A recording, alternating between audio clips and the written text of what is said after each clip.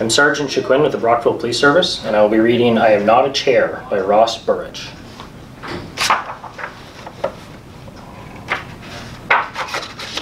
I am not a chair. This book is for Drew and Todd. On Giraffe's first day in the jungle, he felt something wasn't right. Can I share that chair?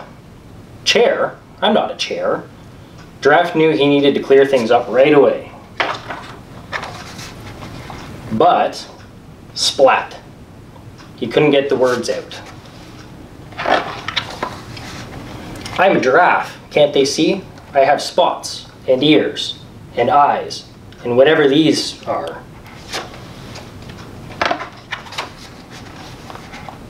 If they couldn't see the difference, Giraffe would have to show them.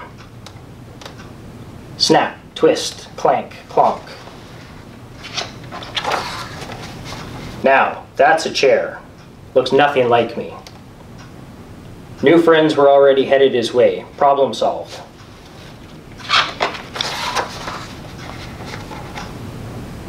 Wobble, wobble, wobble. Oh, um, wobble, wobble, wobble. Smash.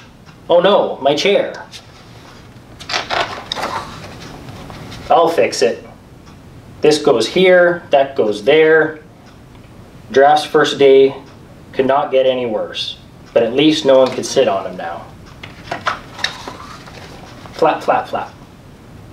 While Giraffe looked for a solution, someone was spying on him.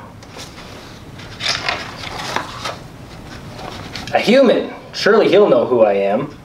Look at those spots. It's perfect. Ah. Smartest species. Yeah, right. Enough! I am not a chair, and I am speaking up to the next animal I see. Roar! The next animal I see will be my dinner, even if I have to sit here all night. Giraffe wished he could run, he wished he could hide, he wished he wasn't so afraid.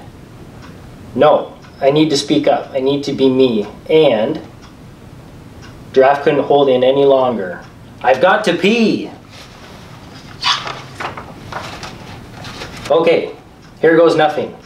Gulp. Uh, excuse me.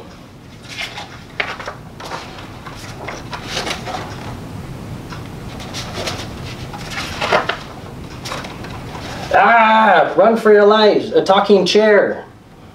I am not a chair. I am a giraffe. And the next day he told everyone, and everything felt right.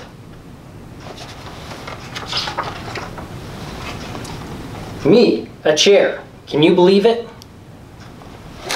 The end.